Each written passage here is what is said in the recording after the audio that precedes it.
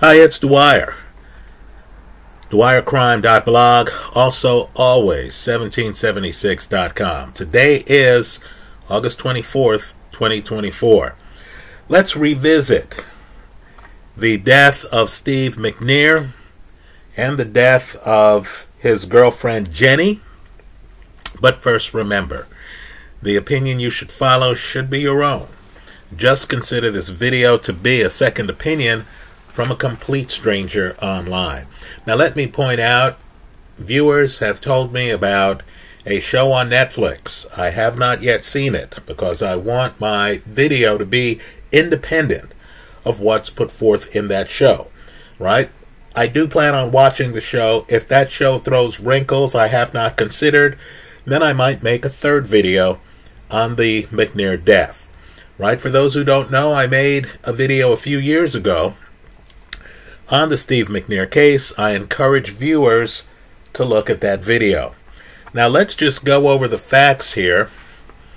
I've restudied the facts and let's give opinions on what happened, right? I understand there's a podcast that says that uh, Steve's girlfriend was not depressed, that she was doing well, she was not concerned about the fact that Steve was seeing other women, right, other than her and his wife.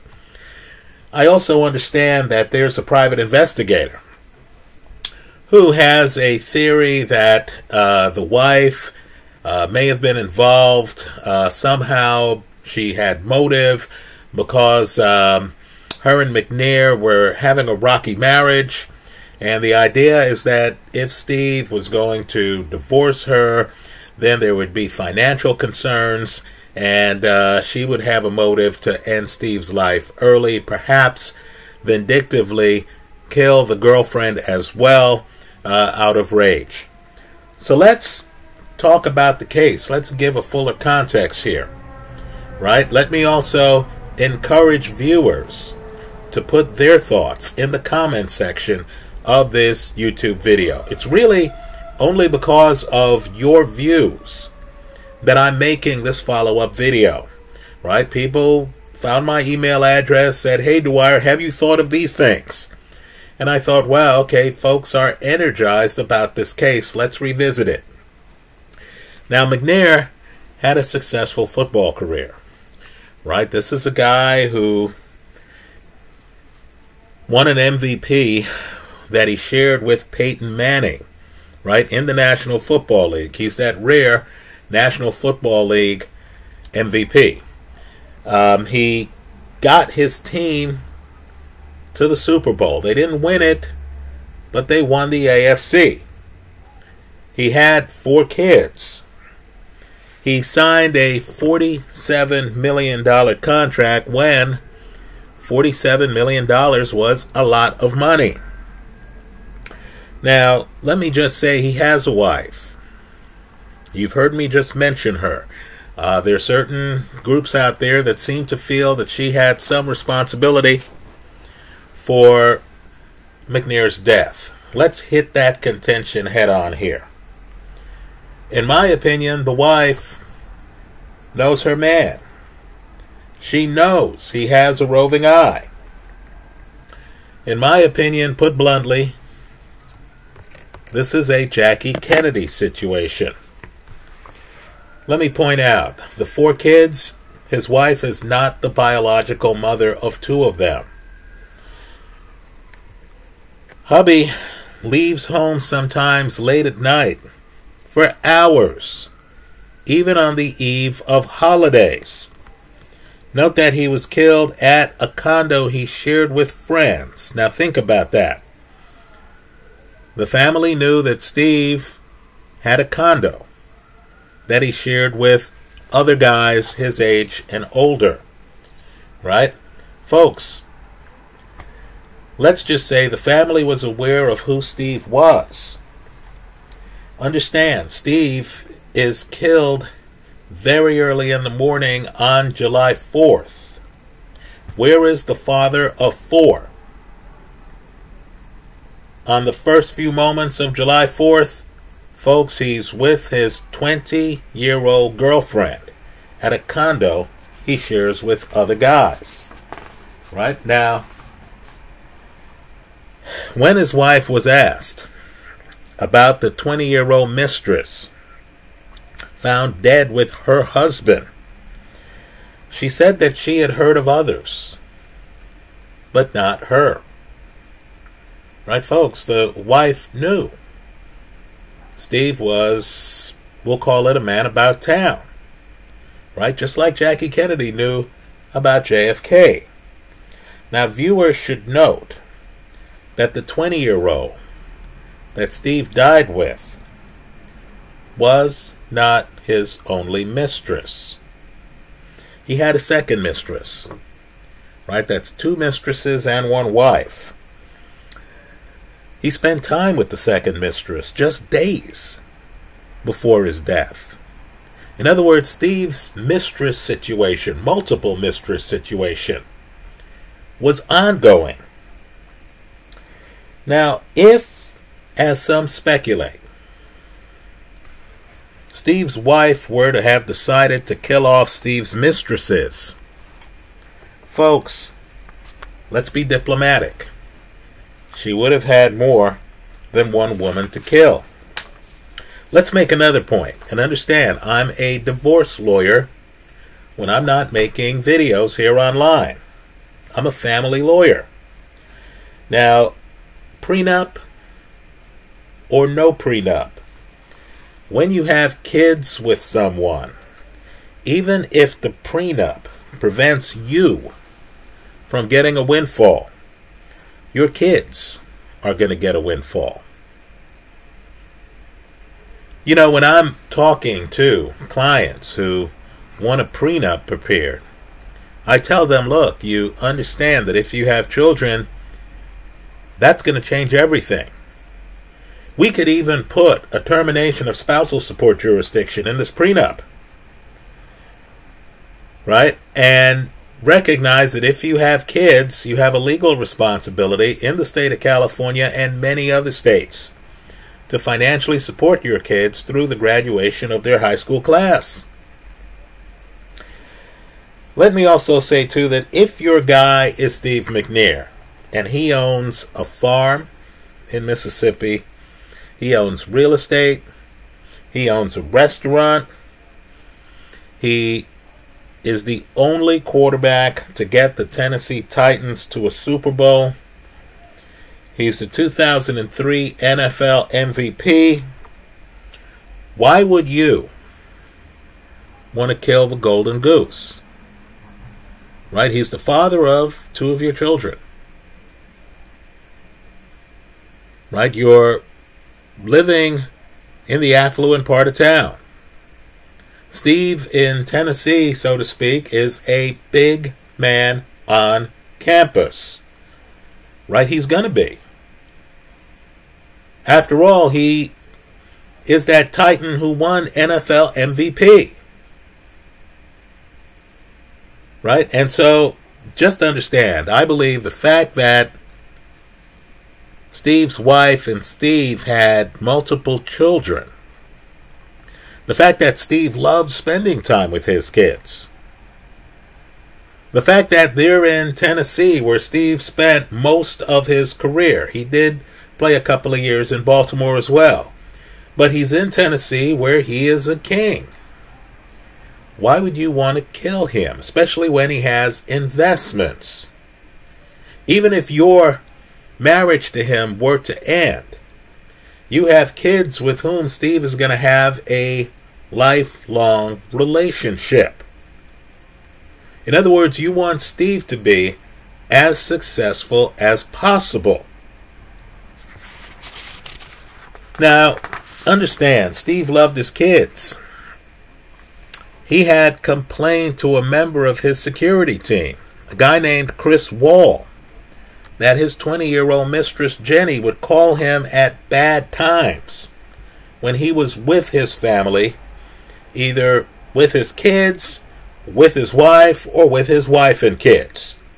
Right now, according to Mr. Wall, Steve wanted to distance himself somewhat from Jenny.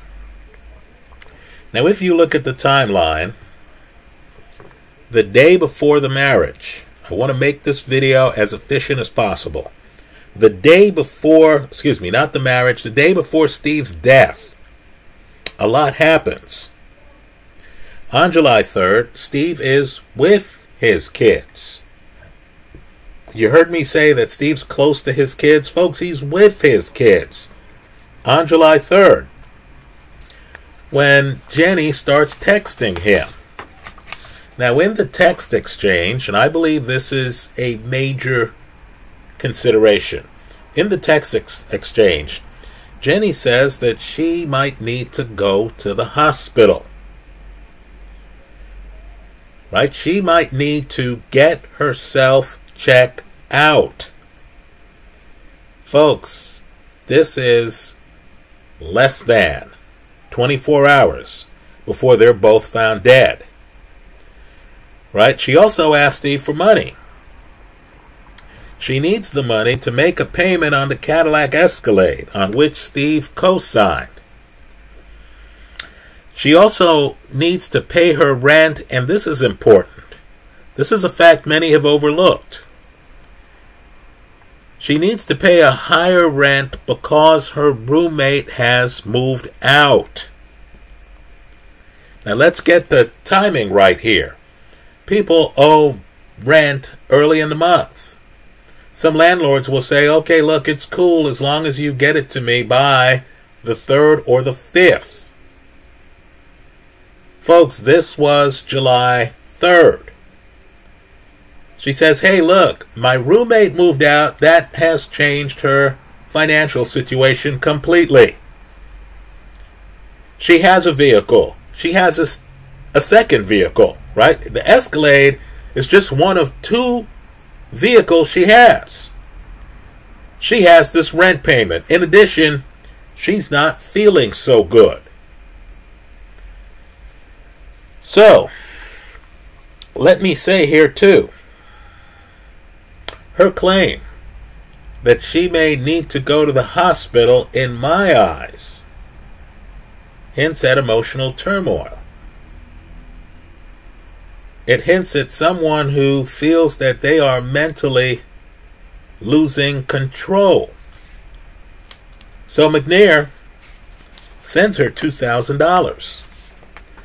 Now, the Escalade is also important because someone in the same color Escalade, I believe it's a black Escalade, had been following around Steve's other mistress, off and on for several days.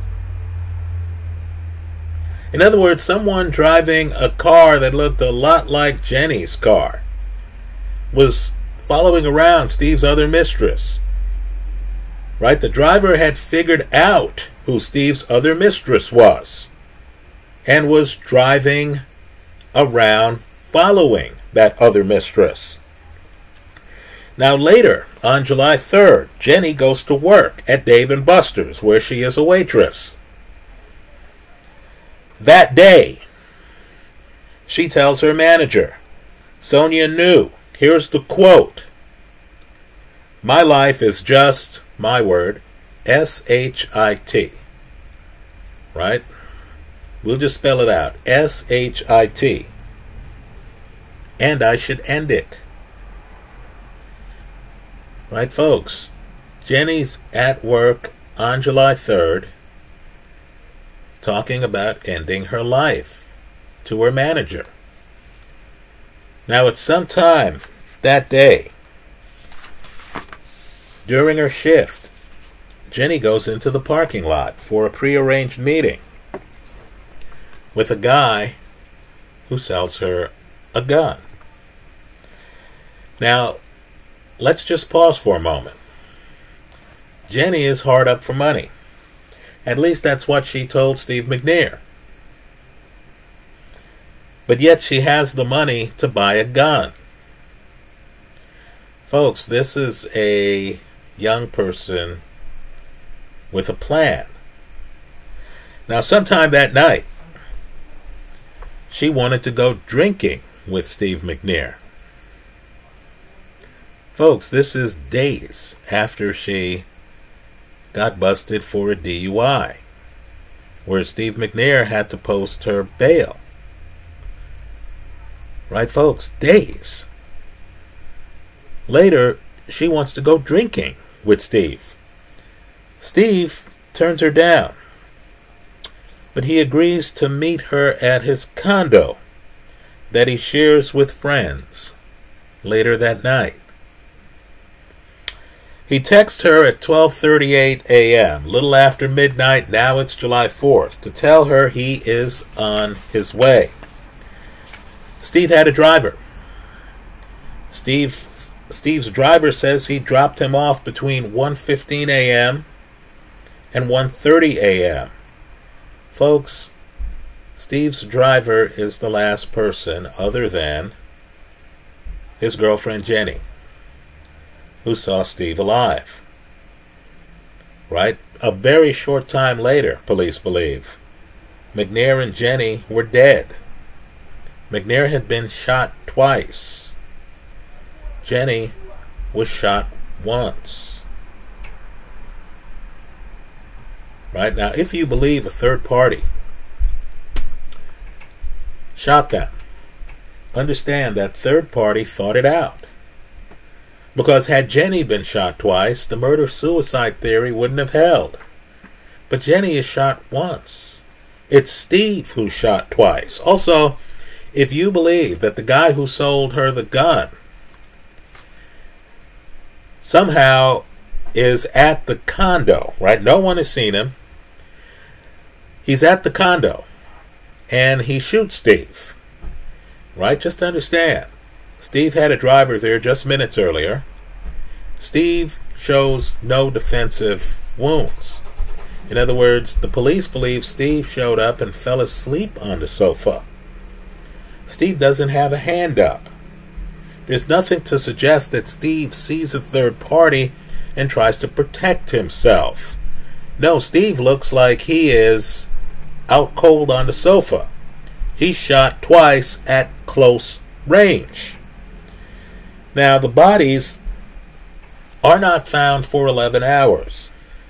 Wayne Neely, a Steve McNair friend who rented the condo with him, found the bodies. He then called another friend, Steve's business partner, Robert Gaddy, who called the cops. Now, I know some are trying to make a lot out of the fact that the first call wasn't to the police right? I need for folks to think about what happens when you're renting a space with friends. Right? There's a business circle. Your friend might be known, might be a former MVP of the NFL. Right? There is a situation where people do think about how is this going to come across in the media? right? Calling the cops first is not going to help Steve, who's been dead for hours, or his girlfriend Jenny, who's been dead for hours.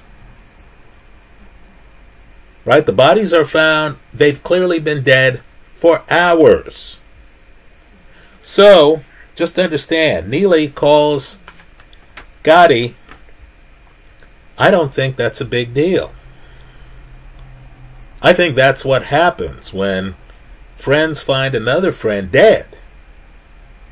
And they panic a little bit. Let's also think this through a bit. You have a boys' playpen, basically, right? Guys owning some swinging bachelor pad. Uh, Steve is married with children. Maybe that was a consideration when they found Steve's body. Maybe other guys who frequented that condo, anyone with a key, might have been living a similar life, might have a wife, might have kids, might be fearful that their involvement with this condo might actually hurt their marriage, hurt their public image, make them look like they're involved in some situation involving murder. I don't find the order of the calls to be dispositive of anything other than surprise and panic. Now, investigators believe it's a murder suicide. They believe that McNair shows up and falls asleep on the couch. Right? As I said, there are no defensive wounds on McNair. He doesn't have a hand up doesn't look like he was in a scuffle. Looks like he was fast asleep on the sofa. The police believe that Jenny shoots him on the right side of his head. Right? He shot twice. She then sits down next to him and shoots herself in the right side of the head. The gun falls to the floor. Eventually, her body rolls off Steve and falls on top of the gun. Folks, I believe that's what happened. Right? Um, I don't have any reason to believe that the convict who sold Jenny the gun, maybe he texts Jenny a number of times. Maybe he tried to get with Jenny. She might have said to him, You know, this guy's dumping me. Right? He may have thought, Hey, this woman is very attractive. Let me try to get with her. But just understand, it's a reach to believe that he would sell her a gun, right? Show up at her workplace, meet her clandestinely, in the parking lot, sell her a gun, and then agree to go to Steve's condo that he shares with other people. In other words, other people have keys to the condo to kill Steve, and then would feel a need to kill the girl he's interested in. I don't understand the storyline that would cause the convict who sold Jenny the gun. He ends up spending a couple years in prison for being a felon in possession of a firearm. But I don't understand the scenario where he's supposed to have somehow decided to kill McNair and Jenny. Let me also say, too, the fact that McNair, a professional athlete, right? He's still in his 30s. This isn't, you know, some old timer who's 68 years old. No, this is a athlete who's still in his 30s. McNair shows up late in the morning. We have a good source, right? Uh, late, shortly after midnight. McNair shows up at the condo. The good source is his driver who dropped him off. Right? You're telling me McNair shows up and the police believe he's fast asleep. In other words, no sign whatsoever of him trying to duck away from a bullet. Nothing like that. He's shot in the head. It looks like he was fast asleep when it happened. Right? You're telling me that if McNair shows up and some guy suddenly comes out of the kitchen with a gun, right? You're telling me McNair is going to be found in the position where he's found? That's unlikely to me. That's extremely unlikely. Also, Let's think about Jenny's body. The gun's underneath her. If it's a third party gunman, folks, that's going to take effort to put together, isn't it? Right? You shoot two people, then you think, you know what, I need to get rid of this gun. Why don't I put the gun under Jenny? So then you're going to lift her body then you're going to slide the gun under her. Then you're going to lay her back down on the gun. Then you're going to leave the place without leaving any forensics. That seems very unlikely to me. So, let me say this. Jenny has friends who have claimed in a podcast that she was not suicidal that she was not bothered with Steve sleeping around. I believe the evidence shows otherwise. She gets a DUI on July 1st with Steve and a friend in the car. Right, folks? That's just a few days before July 4th, the morning of July 4th. In fact, the early, early morning of July 4th, when this happens. Right? She gets a DUI. She has figured out who Steve's second mistress is and has been following her around in the Cadillac Escalade that she just got. Right? Because Steve co signed on it, I believe, in May. Right? So just understand she gets the Cadillac Escalade, then she's following around the other woman. She texts Steve on the 3rd when he's with his kids, which we know from his security detail Steve hated. She further tells him when he's with the kids loaded news that she may need to go to the hospital. Right, folks? That's the day before their bodies are found. She tells him, and I believe this is the key news, that her roommate has just moved out. Folks, we were all young once. We all had roommates, I'm sure, at some time in our lives. The roommate moving out changes everything, doesn't it?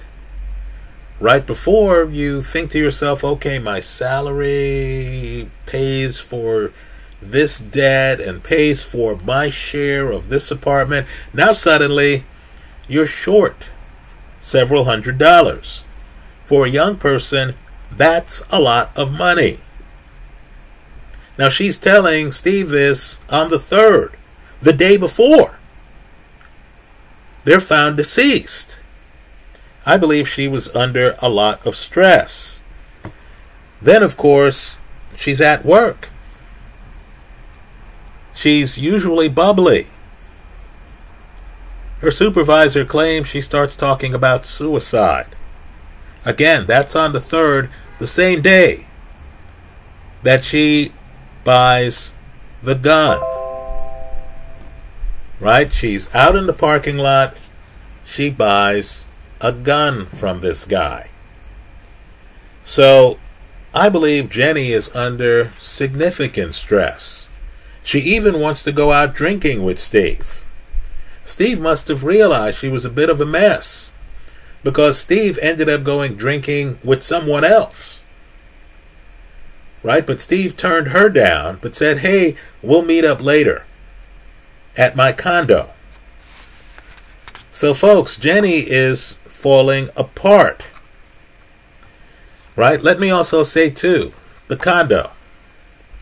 Jenny feels a need to take the gun to the condo. According to reports, she's wearing romantic clothing.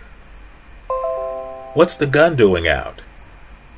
Even if she, let's say, went to Steve's condo, and I'm guessing the condo was in a safe part of town. I couldn't imagine a guy signing a $47 million contract and then having a condo in some sketchy neighborhood. But let's say Jenny decides, hey, you know what? I need protection right? I'm afraid of getting mugged. Okay, she has the gun. She takes it to the condo. What's the gun doing out of her purse? What's the gun doing? She's in a negligee. She's thinking of, you know, seducing her man or at least giving that appearance. What's the gun doing out? The gun that she just bought. Then, of course, think about how they're found. Her body is positioned in such a way that people feel that she was initially laying on Steve and that she rolled off the sofa. Right? Understand, folks, this was someone who was troubled, who had just talked about suicide to a coworker just hours earlier less than 24 hours before this happened. Right? She talked about suicide. Then, of course, she's found in a position where the police believe she just rolled off Steve's lap, fell onto the floor, her lifeless body on top of the gun. That's what I believe happened. Now, I will uh, gladly watch the Netflix show. Um, let's just say what I found is that you never fully know the whole story. I talk with people um, about their divorce, and the tone of voice on the phone or in the Zoom call uh, will connote, you know, someone who's at peace with themselves, someone who's happy, someone who's ebullient. And then as I get to know them, you find out that that was a mask. The real person is upset, feels that they have spent five years, 10 years, 15 years in a relationship that didn't work out, feels that the other person exploited them, took their best years, made promises they couldn't keep, told you you were special, and then you found out some other woman was also special because she was also a mistress.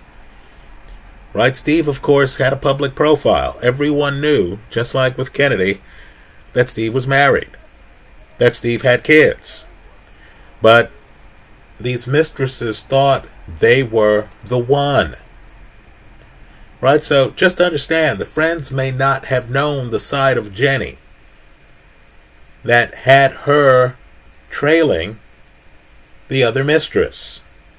They may not have known the side of Jenny that had her during a shift, taking a break, going to the parking lot to meet with a felon to buy a gun.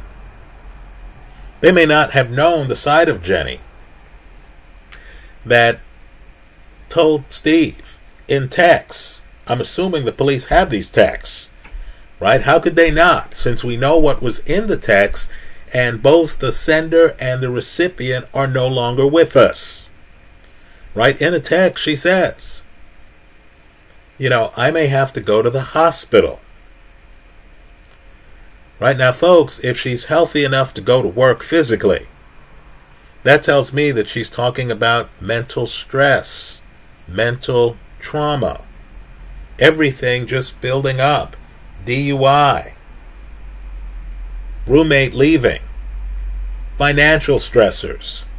Right? This is while she has a job, right? Steve has to send her $2,000. It's July 3rd.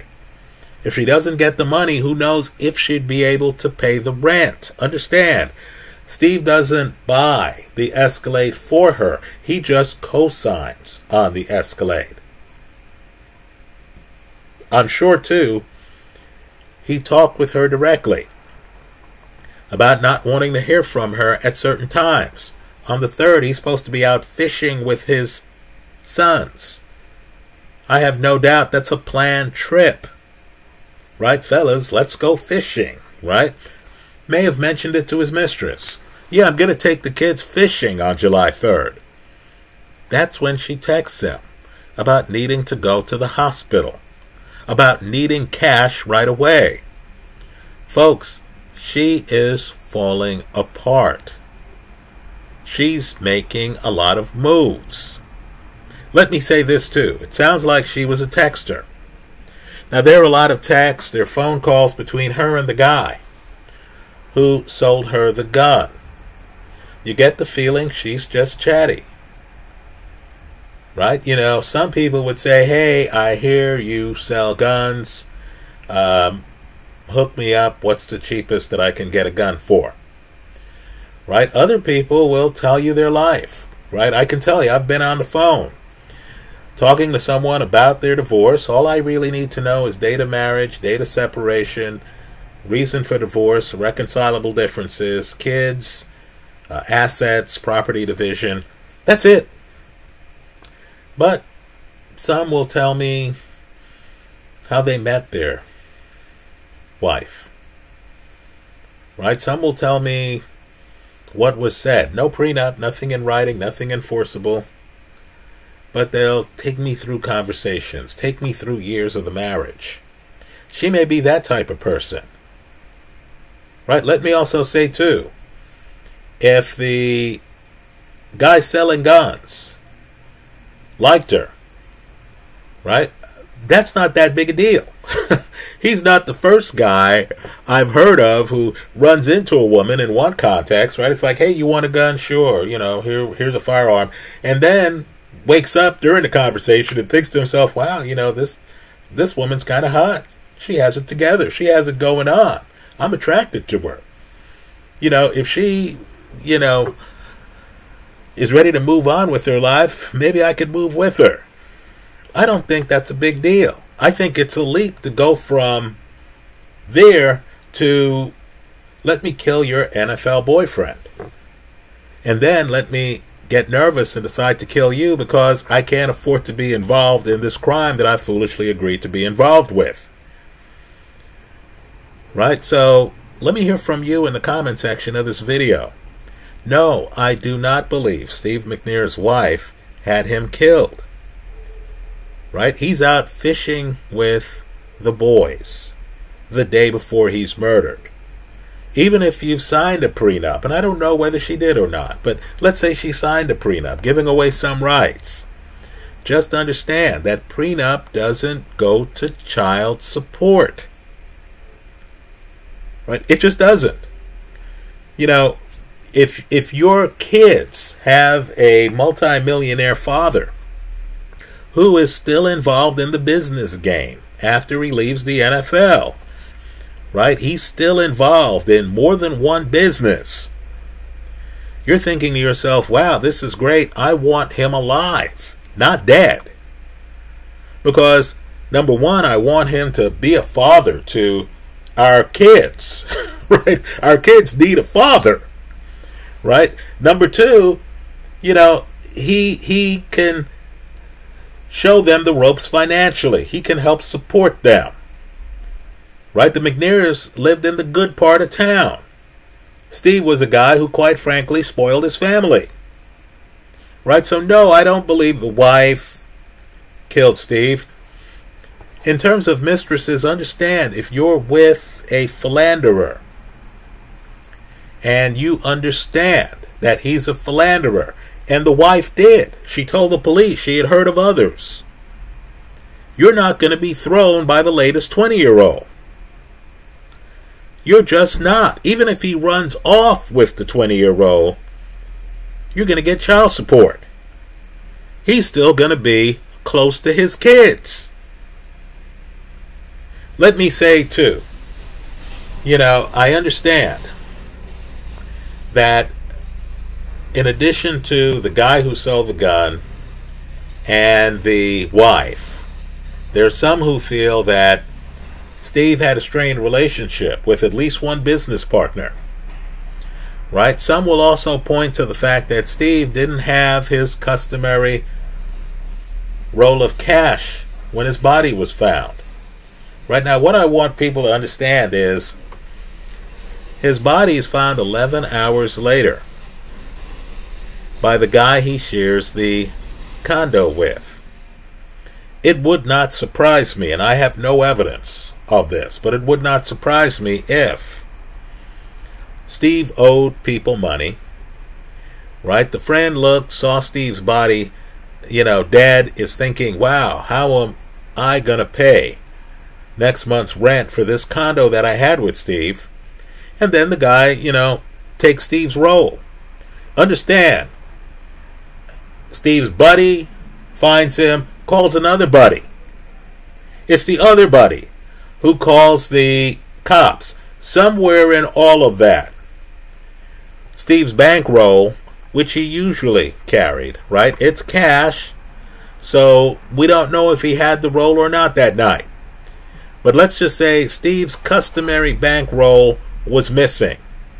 That doesn't tell me simply does not tell me that somebody else came in in some kind of robbery and decided, hey, let me rob, you know, Nashville's Tom Brady and take his money, kill him for the few bucks in this bankroll, and kill his girlfriend. I don't believe that happened. So those are my thoughts. Let me hear yours in the comment section of this YouTube video.